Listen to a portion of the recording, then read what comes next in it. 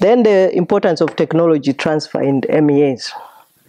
I've already talked about this the issue of the fact that technology is owned by the private sector most of the time, and accessing it uh, means that you have to have a way of supporting those who would access. So it's not just a matter of saying that, okay, we'll transfer technology, because developing countries have over the year been crying out for new technologies. But they all, all these issues of intellectual property rights have to be taken care of, and the issue of who pays for that technology that is being transferred.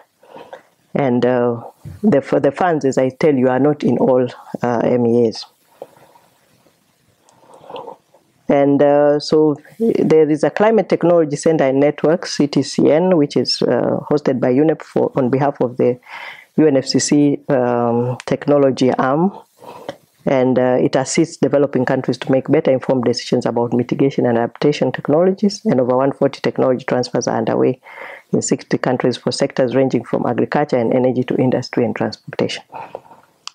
And uh, the other thing is the another good example is the multilateral fund with the Kigali decision. The EU has committed euros 250,000 for as financial contribution to assist developing countries uh, get new technologies that would phase out these HFC alternatives in refrigeration and air conditions.